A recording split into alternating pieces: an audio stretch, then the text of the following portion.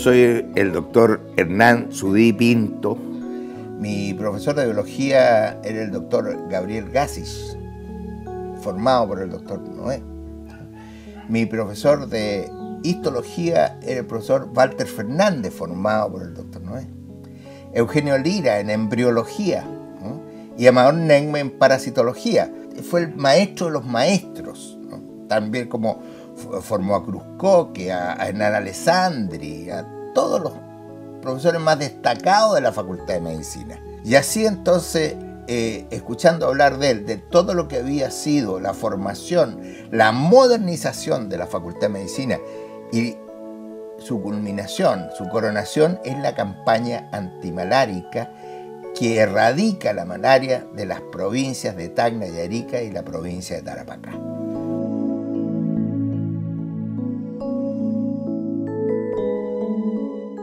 El doctor Noé llega a Chile contratado por el, embajador de, eh, de, Chile en Italia, a quien le encargan buscar un médico italiano que pueda solucionar dos grandes problemas. La modernización de la Facultad de Medicina en la Universidad de Chile y el problema de la malaria en las provincias de Tacna y Arica, que iban a ser sometidas a un plebiscito de acuerdo al Tratado de Ancón. De tal manera que Giovanni Battista Grassi, que es el descubridor de la anófele, el, mosquito que transmite el, germen que produce la malaria, recomienda a su discípulo más destacado que es Giovanni Noé Crevani. Empieza a hacer sus clases en la Facultad de Medicina. Él separa y divide esto y crea una cátedra de biología, una cátedra de histología, una de embriología, una de parasitología y una de anatomía comparada. Y él asume las cinco cátedras y va formando a sus discípulos que son los que lo van a reemplazar a su muerte en cada una de estas cátedras.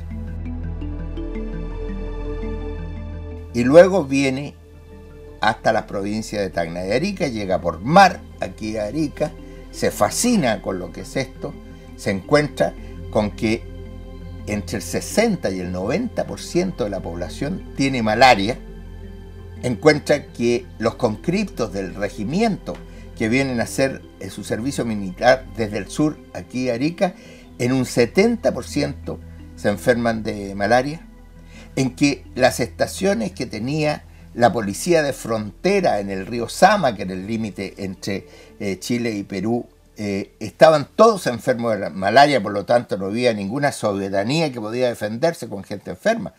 Y allí comienza después el análisis y el estudio que él hace, con la experiencia que él tenía de haber vivido con Giovanni Battista Gracia en Italia, empieza a aplicar esta metodología de drenar los pantanos, de hacer que las aguas corran, de, de que no haya charcos con agua detenida, porque allí el mosquito deposita sus huevos y se desarrolla la larva de los mosquitos y luego el imago que es el que va a volar. Todas aquellas aguas que por su extensión no podían drenarlas, las cubrían con una capa de petróleo. Entonces la larva no podía sacar el sifón para respirar y se asfixiaba. Y en aquellos estanques que se necesitaban para la agricultura, él siembra un pez, que es la gambusia que se alimenta de las larvas.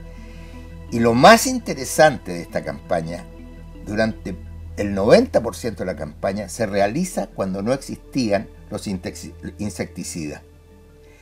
El, DDT, que es el primer insecticida, es descubierto, es inventado por un químico eh, suizo-alemán el año 1944, en la Segunda Guerra Mundial, pero desde el año 24-25, que comienza esta campaña, hasta el año 44, Noé no dispone de insecticida, de tal manera que su campaña es absolutamente ecológica. Como consecuencia de la Guerra del Pacífico, en el Tratado de Ancón, que se hace en 1884, en que la, provincia de Tarapacá es cedida por Perú a perpetuidad a, Chile, quedan las provincias de Tacna y Arica en poder de Chile durante un periodo en que hay que esperar que pase el tiempo para hacer un plebiscito de tal manera que las poblaciones determinen, tanto en Arica, si quieren pertenecer a Chile o al Perú. Y el límite entre Chile y Perú fue fijado en el Tratado de Ancón en el río Sama, que está a 20 kilómetros al norte de la ciudad de Tacna, que crece notablemente con las lluvias estivales altiplánicas, invaden terreno y después cuando se retiran las aguas van quedando pantanos, van quedando pozas y allí es donde se desarrolla el mosquito.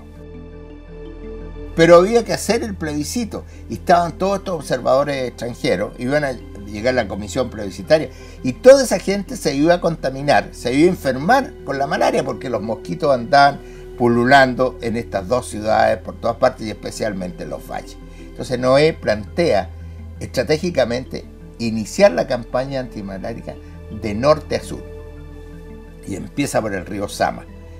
Fue muy difícil porque eh, todas estas estaciones de la policía de frontera tenía que ir a los caseríos y convencer a la gente que cooperara con esto, que ayudara a limpiar los ruidos, pero además tenían que tomar el medicamento que tenía quinina y tenía ácido arsenioso para combatir al germen de la malaria que tenían.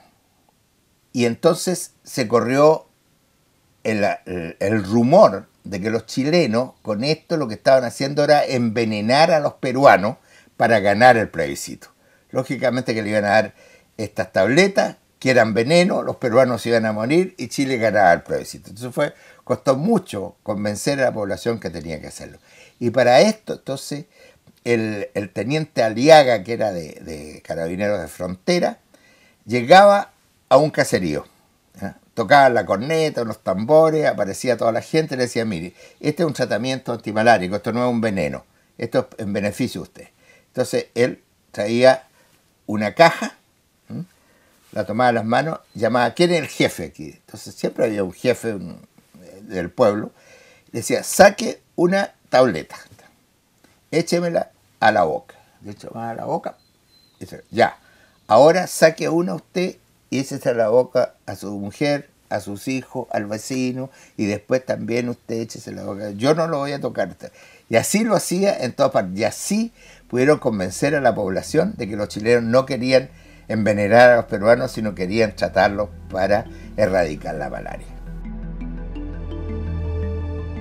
Finalmente, el gobierno de Estados Unidos eh, conversa con los presidentes de Chile, que era Carlos Ibáñez del Campo en ese momento, y con Augusto Leguía, que era el presidente del Perú, y dice, lleguemos a una solución salomónica y dejemos Tacna para el Perú y Arica para Chile, que fue lo que ocurrió realmente. Y así entonces cuando Chile entregó el año 1929 Tacna, la provincia de Tacna, hasta el río Sama, la entregó totalmente liberada de la malaria, como se ha mantenido hasta ahora.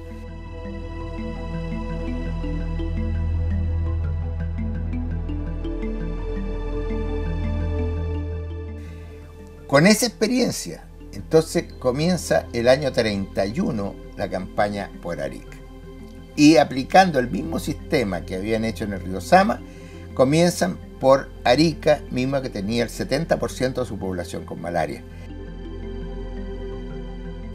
Esta campaña antimalárica, que como vemos dura prácticamente 20 años, son 20 años intensivos, se intensificó mucho desde el año 37 al 45. Ahí el, gobierno ya no tenía la preocupación del plebiscito, pero había adquirido una conciencia de salud pública que no podía dejar a esta población, no porque no hubiera haber plebiscito, se iba a dejar a la población a expensa de la malaria. Entonces ahí el gobierno de Chile eh, se preocupó de continuar y intensificar desde el año 37 para adelante. Se, aprobaron leyes especiales para la campaña antimalárica, se le dieron incentivos económicos al personal que, que, trabajaba en esta campaña antimalárica, se lograron aportes de diversas instituciones.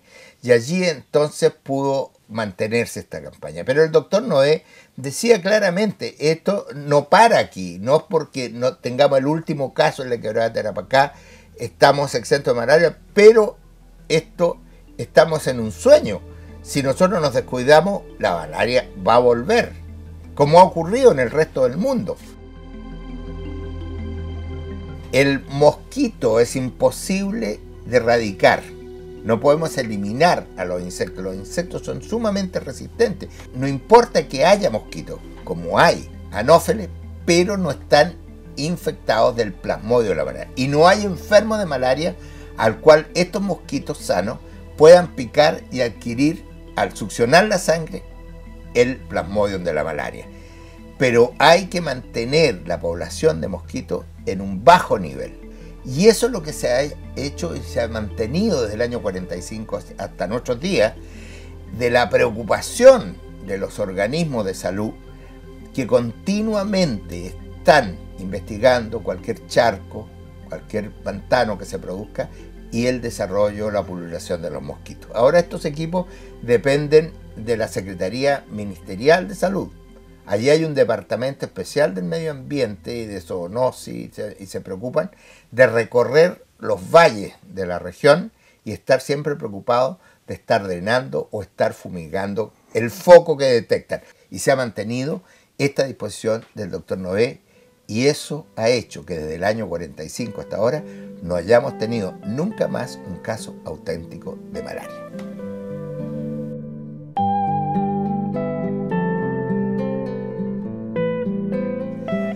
En los tiempos del doctor Noé, cuando él llega, aquí había un organismo de sanidad, había una sanidad estatal. No había más cosas, había, los hospitales eran de la beneficencia. Posteriormente, eh, el, gobierno de Arturo Lesandri eh, se produce la ley 4054 y 4055, que era de seguro obligatorio, en que aparecen otros organismos ya desarrollando una medicina pública eh, más moderna.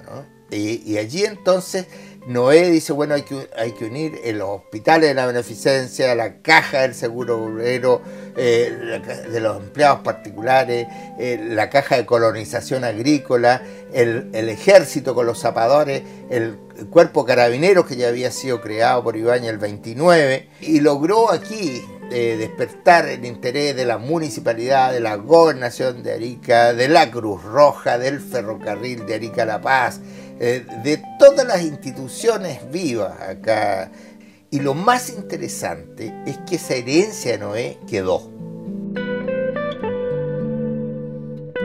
El doctor Noé fue el gran modernizador de la medicina chilena, fue el creador de cátedras nuevas, fue el formador de profesores de medicina de toda la facultad todos sus discípulos fueron grandes profesores en diversas cátedras. Investigó la enfermedad de Chagas, por ejemplo, que transmite la vinchuca. Toda la parasitología chilena es obra de la investigación de Noé y sus discípulos. Hacía investigación, ¿no es cierto? Se reservaba sus vacaciones, que el lugar a descansar, y estaba enero y febrero acá en Arica vigilando, controlando que toda la campaña antimalárica se cumpliera de acuerdo a las posiciones e iba retroalimentándose de los resultados para que iba viendo que realmente estaba funcionando. Volvía a su cátedra en Santiago, pero no descuidaba la campaña antimalárica y además la preocupación de Noé siempre por la educación. Insistía, que si las autoridades no se preocupaban de la educación de las clases populares, no sacaban nada con darles bienestar económico, porque la educación era fundamental para la felicidad, el desarrollo y una vida mejor de los pueblos.